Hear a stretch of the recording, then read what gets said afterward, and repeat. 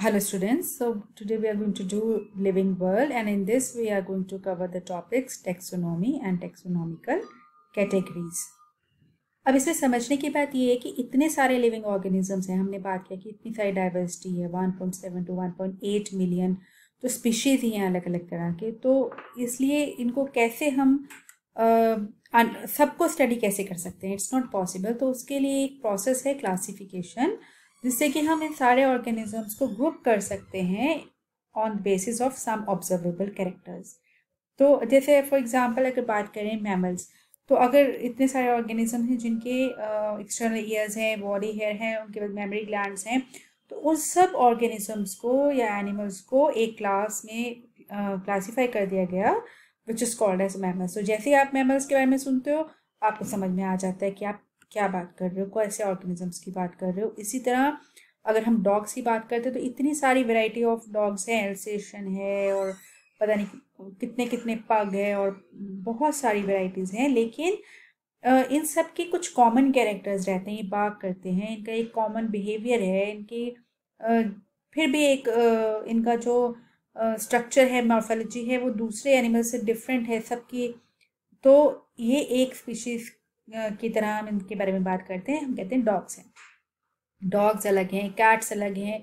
Then ऐसे ही plants में अगर आप बात करोगे तो वीट का जो प्लांट है that is different from the plants of rice so you can make out लेकिन उनके कैरेक्टर्स के बेस में इनको अलग अलग कैटेगराइज कर दिया गया तो ये कन्वीनियंट कैटेगरीज हैं जिनसे हम ऑर्गेनिजम्स को स्टडी कर सकते हैं। और जो इन कैटेगरीज के लिए एक साइंटिफिक टर्म यूज़ की गई है that is called as taxa और ये रैंक होता है बेसिकली और based on characteristics they all have been all the organism they have been classified into different taxa और इसी प्रोसेस को इसी क्लासिफिकेशन के प्रोसेस को टेक्सोनॉमी कहते हैं. तो इसमें बहुत सारे कंपोनेंट्स आ जाते हैं external and internal structure structure of cell development process ecological information of organism ये सारे के सारे टेक्सोनॉमिक uh, स्टडीज़ के बेसिस बनते हैं. So we can say that characterization, identification, classification, nomenclature are the processes that are basic to taxonomy. अब हमने अगर डिफरेंट ऑर्गेनिज्म के बारे में जानना है तो उनके साथ साथ उनके स्ट्रक्चर उनकी दूसरे जो हमने बातें की हैं अभी कि हमें उनके एनाटमी उनका मॉर्फोलॉजी सब जानना है लेकिन साथ ही साथ इन ऑर्गेनिजम्स की जो आपस में रिलेशनशिप है वो भी स्टडी करना ज़रूरी है और इसी स्टडी को, इसी ब्रांच ऑफ़ स्टडी को जो रिलेशनशिप्स को भी स्टडी करता है that is called as systematics ठीक है, ये एक लैटिन वर्ड से डिराइव वर्ड है और लेनियस ने तो ही has use Systema Naturae as a title of his publication जिसमें उन्होंने इन सब के बारे में बात किया है। तो next I will move on to taxonomic categories Classification is not a single step process, but involves hierarchy of steps in which each step represents a rank or category. तो इसको हम जितनी भी कैटेगरीज हैं, सारी की सारी टेक्सोनॉमिक हायरकी बनाती हैं refer to as a unit of classification represents a rank and common term as taxon तो अगर हम बात करेंगे कि टेक्सोनॉमिक जो ग्रुप्स होते हैं, ये डिस्टिंग बायोलॉजिकल एंटिटीज नहीं है, बल्कि मॉर्फोलॉजी ये पूरा का पूरा इनमें अलग ही एक जो ग्रुप है वो दूसरे ग्रुप से अलग है। तो it's not only morphological aggregate मतलब बाहर से दिख रहे हैं वो ही नहीं है लेकिन इनका जो इंटरनल स्ट्रक्चर है दैट इज़ ऑल्सो डिफरेंट इनका जो बिहेवियर है दैट इज़ ऑल्सो डिफरेंट दो फ़ंक्शन है performing those are also different तो इन सब के बेसिस के ऊपर ये अलग अलग ग्रुप्स हैं। The taxonomic studies of all known organisms have led to development of common categories such as kingdom, phylum, division, class, order family genus and species ये सारे अलग अलग कैटेगरीज हैं जिनकी हम बात करेंगे।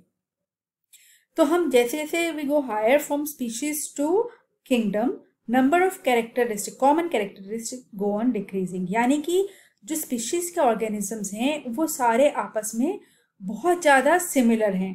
उनके जो प्रॉपर्ट जो उनकी कैरेक्टरिस्टिक्स हैं, वो बहुत एक दूसरे से सिमिलर रहेंगे। तो इसीलिए हम जैसे अब अगर डॉग्स की बात करो और जैसे हमने मैमल्स के अंदर डॉग्स और कैट्स और ह्यूमन बींग्स की बात की तो ह्यूमन बींग्स देखो आपस में बहुत ज़्यादा मिल रहे हैं, वो एक स्पीशीज है डॉग अलग स्पीशी है और कैट अलग स्पीशी है तो आपस में इन ऑर्गेनिजम्स के, एक स्पीशी के ऑर्गेनिज्म के जो कैरेक्टरिस्टिक्स हैं बहुत ज़्यादा सिमिलर हैं, लेकिन जैसे जैसे अब हम ऊपर मूव करते हैं तो थोड़ी सी सिमिलैरिटी कम होती जाती है, हर रैंक पे, हर टेक्सा पे, और फाइनली किंगडम तक पहुँचते हैं, वो बहुत वेरिड किस्म के एनिमल्स जो हैं सारे के सारे, एक एनिमल एनिमल या किंगडम में आ गए अलग अलग प्लांट्स जो हैं, वो एक किंगडम में आ जाते हैं प्लांटे किंगडम में आ जाते हैं। तो इस तरह से। The higher the category greater is the difficulty of determining the relationship of to other taxa at the same level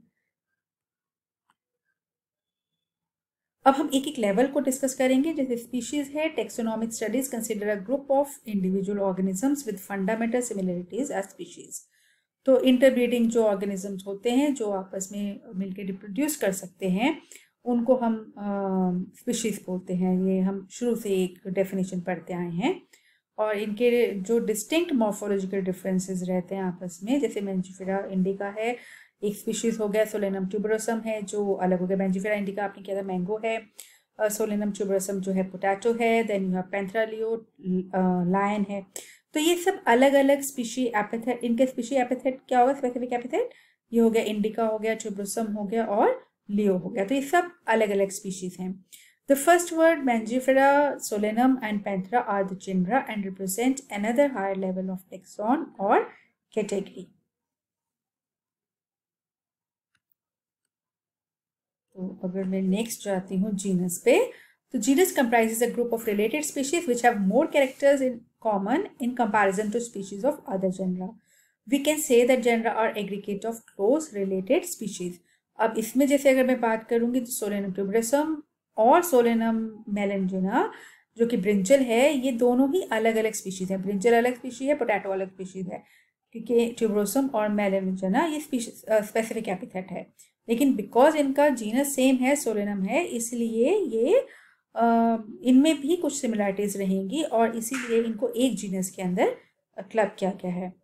Panthera leo panthera pardus and panthera tigris are different इनमें बहुत सारे कॉमन फीचर्स भी हैं तो इसलिए इनको एक species के अंदर डाल दिया गया है पेंथ्रा में राइट ऐसे जो कैट्स हैं उनका एक अलग जीनस है फैलिस जबकि हम कहते हैं कि कैट भी इनसे रिलेटेड होते हैं, लेकिन वो एक अलग फैमिली है राइट तो वो जीनस ही अलग है basically next category family has a group of related genera but still less number of genus है और इनका है पैंथाजीनीस families are characterized on basis of both vegetative and reproductive features of the plant species among plants for example three different genera Solanum petunia and datura they are placed in the family Solanaceae अब family एक है।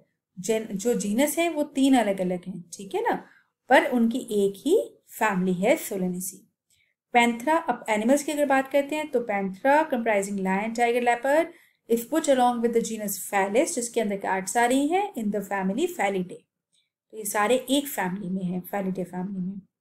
तो इनमें कुछ देखो, अब similarities हैं, कुछ डिफरेंसेस हैं, और इसी तरह से ये मूव ऑन करते हैं। अब जो फैमिली है फैलिडे इसमें ये सब आ गए, और उधर दूसरी फैमिली आ जाएगी कैनिडे डॉग्स ये अलग है, इसमें डॉग्स आ जाते हैं।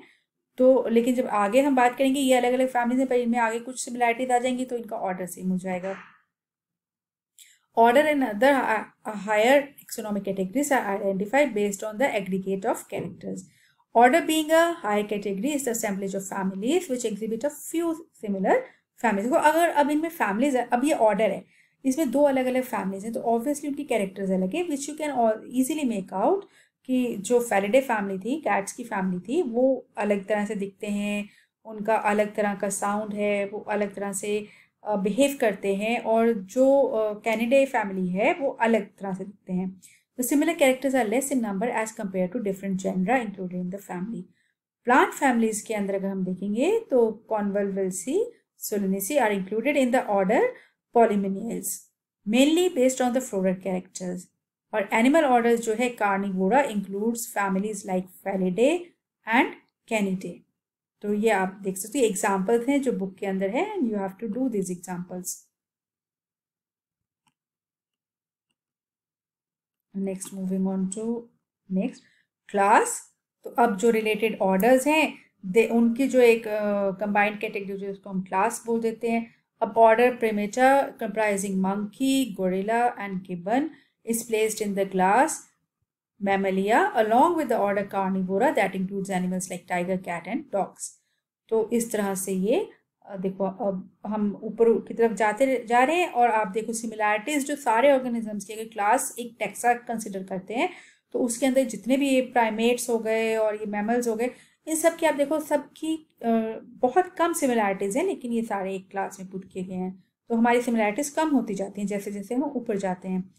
अब classes comprising animals like fish amphibians reptiles birds along with mammals constitute the next higher category called phylum.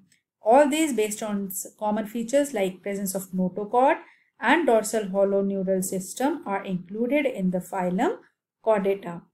और जो प्लांट्स हैं उनमें भी इसी तरह से एक जैसे हम एनिमल्स में फाइलम कहते हैं प्लांट्स में हम कह देते हैं डिविजन है और all animals belonging to various phyla are assigned to the highest category called kingdom Animalia और जो किंगडम प्लांटे है that has all the different plants from various divisions तो हम यहाँ देख सकते हैं, ये टेक्सोनॉमिक कैटेगरीज है दिस इज़ वेरी इंपॉर्टेंट ये आपको नॉर्मली दो नंबर में क्वेश्चन आ जाता होता है. मैन है, उसका बायोलॉजिकल नेम होमोसेपियंस है तो सेपियंस उसकी स्पीशीज स्पेसिफिक एपिथेट हो गया होमो जो उसका जीनस हो गया फैमिली होमिनिडे है ऑर्डर प्रेमेचा है और मेमलियन क्लास है। And then we have phylum which is Chordata house fly Musca domestica domestica उसका स्पेसिफिक एपिथेट है मस्का उसका genus Muscidae Diptera Insecta Arthropoda उसका फाइलम है। मैंगो को देखते हैं तो मैंजीफेरा इंडिका मैंजीफेरा उसका जीनस है इंडिका उसका स्पेसिफिक एपिथेट है अनरकार्डिसे उसका फैमिली है सेपेंडेल्स ऑर्डर डिकोट डाइकोटिलेडन है क्लास उसका और एंजिस्पर्म उसका डिवीजन है in case of plants we have division and then we are going to talk about the wheat Triticum aestivum. Triticum is the genus, aestivum is the specific epithet, Poaceae is the family, Poles is the order, and Mon Monocotyledon is the class, and then we have the angiosperms. Angiosperma, that is the division again.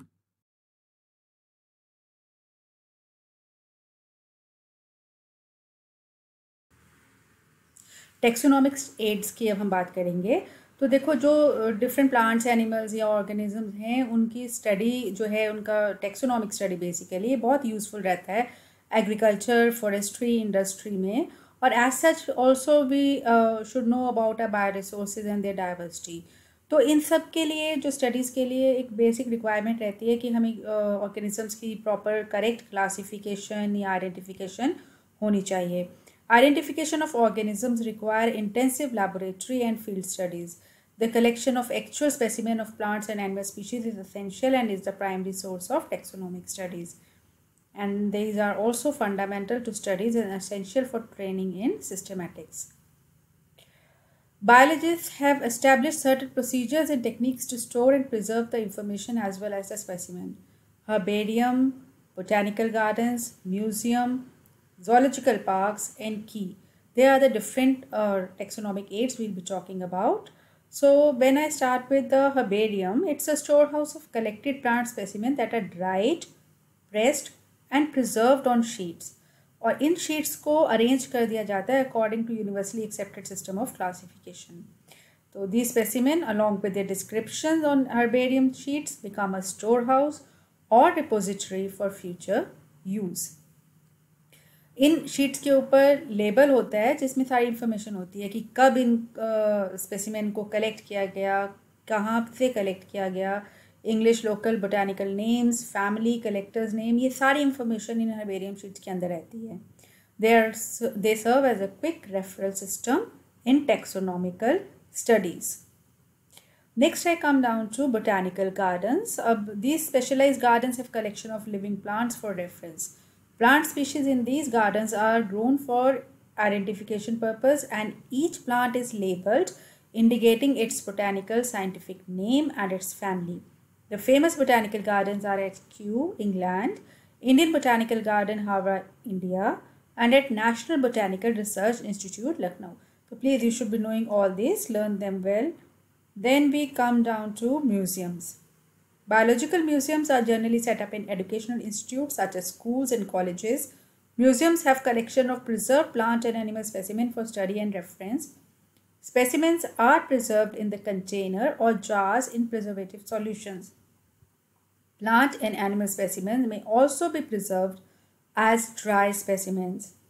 Insects are preserved in insect boxes after collecting, killing and pinning. Large animals like birds and mammals are usually stuffed and preserved. They have collection of skeletons of animals too. Zoological parks these are the places where wild animals are kept in protected environment under human care and which enable us to learn about their food habits and behavior. All animals in zoo are provided as far as possible the conditions similar to the natural habitats. So these are the various um, uh, taxonomical keys. Along with this, we come down to key. This is very important one often asked in exams जो keys रहते हैं, ये contrasting characters के ऊपर based होते हैं इन generally in pair और इन pairs को बोलते हैं कपलेट तो ये जो हैं, ये एक तरह से ऑप्शन हो जाती है कि एक चॉइस है, आप कर सकते हो between two opposite options two contrasting options the results in the acceptance of only one results in the acceptance of only one and rejection of the other. Each statement in the key is called a lead. Separate taxonomic keys are required for each taxonomic category such as family, genus, species for identification purpose and keys are generally analytical in nature. Flora contains the actual amount of habitat and distribution of plants of a given area. These provide the index to the plant species found in a particular area.